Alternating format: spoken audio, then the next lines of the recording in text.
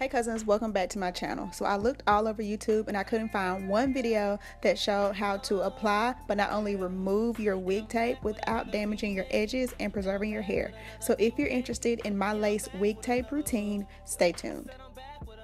So starting here, you guys can see I've already removed one side of my unit the tape is still on my skin, but I will show you guys how to remove that later. But as you can see, the tape was in front of my hairline, and on the other side, the unit is completely intact. So I'm gonna show you guys how I remove it, but I just wanted to know I really could have worn it longer if I wanted to. So super important, you want to make sure that you use 91% alcohol. Um, that's the only alcohol that they recommend that you use. I don't really know why, but I do know that I tried to use 50% alcohol before purchasing the 91% and um, it really didn't stick very well. So you do want to make sure that you're using 91% alcohol only. Next, I am just using the cosmetic wedges that you can get out of Walmart or even the Dollar Tree. And I like using these because it soaks up the alcohol and it allows me to have a little bit more control where I put the alcohol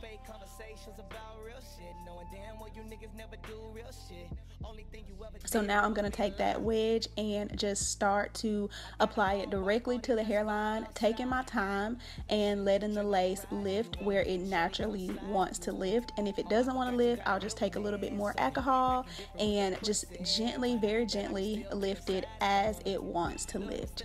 You want to be super gentle as you're removing this lace unit. One, because you know you spent a lot of money on your unit. Units are investments and you don't want to tear your lace.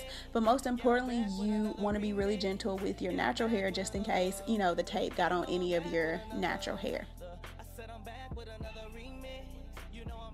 So after about five minutes, I was able to get the unit and lift it completely off. I'm going to put it to the side for now.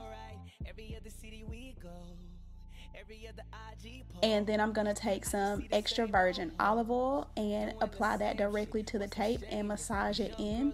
And gently, as it wants to, again, just have some patience with this. Um, it's going to be a process, so make sure if you're taking this unit down that you have time to really take your time with it.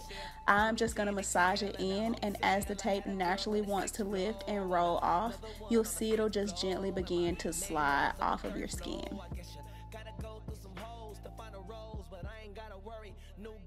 Just like Ayesha Curry. And I'm back with another remix. Yeah, I'm back with another remix. Yeah, I'm back with another. Uh, you know I'm back with another. Uh, I said I'm back with another remix. You know I'm back with another remix. You know I'm back with another. Yeah, I said I'm back with another. So now I'm just gonna roll back my wig cap so that you guys can see um, that my edges are still intact. What I like to do is form a gel cast and completely gel my edges back. So now what I'm gonna do is kind of let it act as a hot oil treatment and I'm gonna pull my edges forward so that you guys can see that my edges are still intact. So I have a really weird hairline, like the sides of my hairline comes they come extremely far forward so it seems like the other sides of my hairline um, is very thin but it's just i have a very uneven hairline. I have my whole life. I can show you guys baby pictures. This is what the unit looks like um, immediately after I removed it. And as you can see all of it lifted completely except for a small little piece of tape and if you want to remove that or if that happens all you have to do is take a little more of the 91% alcohol and apply directly to your lace unit and that tape will lift right up. It literally took me like 60 seconds.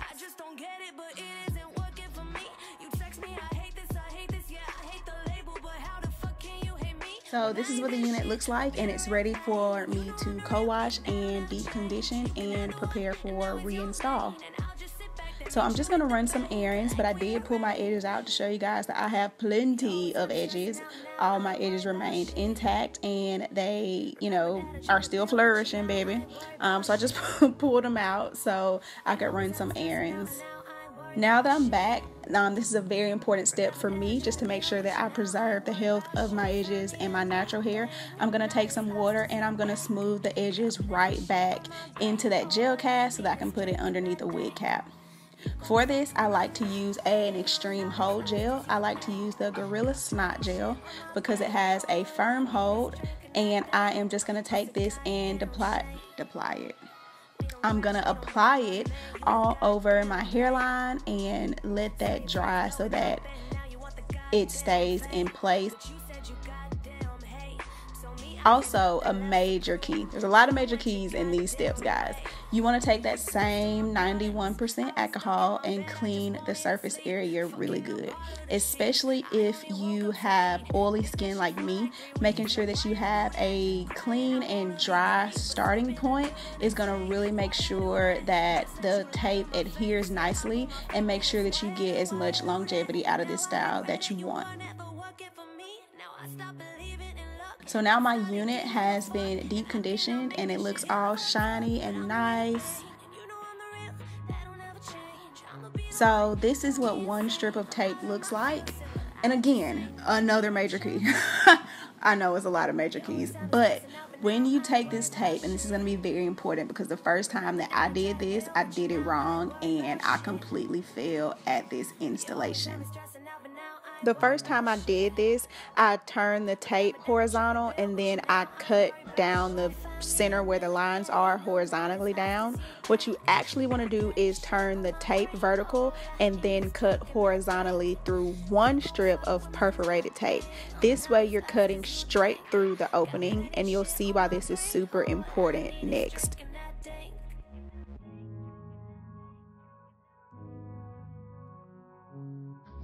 If you've cut it correctly, once you start to apply it, it's going to look something like this.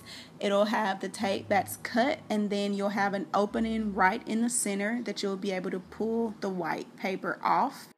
And if you have like a weird hairline like me, you'll have like little small pieces on the side there just to kind of mold to your hairline.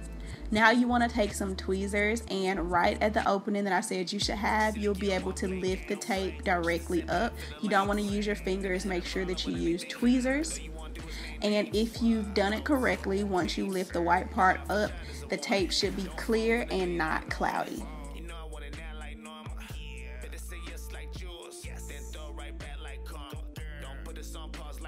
After you've removed all the white pieces off of the tape, go ahead and line your unit up. This unit is a little big for me. The frontal is a little big, so I will show you guys how I fix that later. But for now, I always start in the very center and then when you start to apply the unit onto the tape, you want to make sure that you apply the lace completely over the tape. So you don't want any of the tape sticking out in front of the lace because if you do, of course, that tape will start sticking to things. It'll stick to your hair, it'll stick to makeup, it'll get nasty. So, um, I've done that because I'm a beginner, so you know, we all have to work on it, but you just want to make sure, do your very best that you don't have any of the tape exposed. And so you just want to go in and line it up, and you'll just continuously lay your lace on top of the tape. And then you'll go in and just apply pressure making sure that all the lace is touching the tape. And as you can see here um, the frontal like I said was a little big so I had to go in with a little bit more tape and get it to lay down. So the last major key in applying your unit with tape is going in with a blow dryer on cool setting and blow drying over your hairline just like you would with the Got to Be Glued or the Gorilla Snot Gel. Um, you want to make sure that you are setting the adhesive, so letting it dry. You want to make sure that it's on cool setting, and this is just really going to help you get that longevity out of this hairstyle. So these are the final results. This is what it looks like after I have completely installed the unit. It looks very natural and I really like the way that it turned out and I know that I'm gonna get at least a week, if not more, if I want it out of the style. I do use foundation to blend my lace. I don't like to bleach my knots. I go ahead and use foundation the same color my skin because i found that bleaching the knots causes my unit to shed. So this last step is completely optional, but I like to go in with Gorilla Snot Gel and something that's a really hard firm gel and lay my baby hairs down. I like to do it with a very firm gel because the next morning I go in with that same toothbrush and water and break the gel cast and it lets my baby hairs just lay very soft and natural looking and it doesn't have like this hard little crunchy look like it does right now. So if you want to see like what it looks like when it's not crunchy, make sure that you visit my Instagram and you guys will see what I'm talking about. I hope you guys enjoyed this video. I hope it was helpful. If you did, please don't forget to give this video a thumbs up, subscribe to my channel if you aren't already a cousin, and share this video with somebody you think it'll help. I'll see you in the next video.